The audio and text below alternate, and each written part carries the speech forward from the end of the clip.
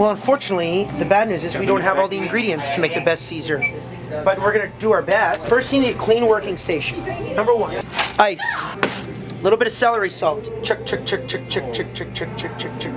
Usually, you squeeze lemon in there. Unfortunately, no lemon, which sucks. Kind of disappointed. So you have Tabasco. So you kind of usually think about it about seven, seven gloops is what we do. One, two, three, four, five, six, seven. Because it's a bigger cup, we'll probably do nine, eight, nine, maybe ten. Worcester comes out faster, so you do half what you do Tabasco. So you did 10, so you only do five gloops.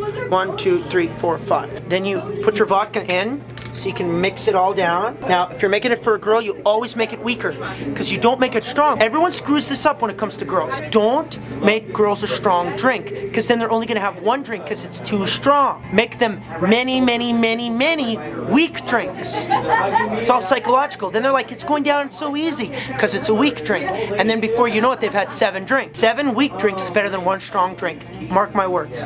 So make, I'm making this for a girl. So you just have just a little bit of vodka. Just a little bit. Just, just not much. Then, regular Clamato. Now here's the thing, they'll try and give you the works. It has Tabasco and Worcester inside. Bad idea. Or extra spicy. It's just Clamato with lots of Tabasco. No, what? I want to do it myself.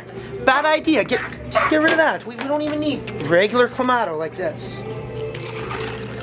You can garnish it a little bit with a little bit of celery salt like that. Don't get that on camera. And then you've got yourself a Caesar, my friend. This is the best backstage Caesar you could ever have. Like, good tang, good spice, right amount of salt, salty drink. It's outstanding. Cecilia, right, you're gonna love this, right? I'll try. Your honest opinion into the camera. Tastes like crap. No, just kidding. It's really good. Cool. I was actually worried for a second. it's a perfect Caesar. Perfect Canadian national drink. Oh, Thank you.